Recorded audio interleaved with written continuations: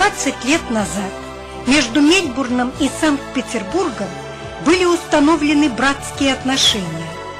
Они стали городами-побратимами, или, как говорят по-английски, sister cities. В рамках празднования этого юбилея из Санкт-Петербурга приехал с концертом знаменитый органист, профессор Санкт-Петербургской консерватории Даниэль Зарецкий. Концерт состоялся в Мельбурн Таун-холле. Сегодня мы показываем фрагменты этого концерта.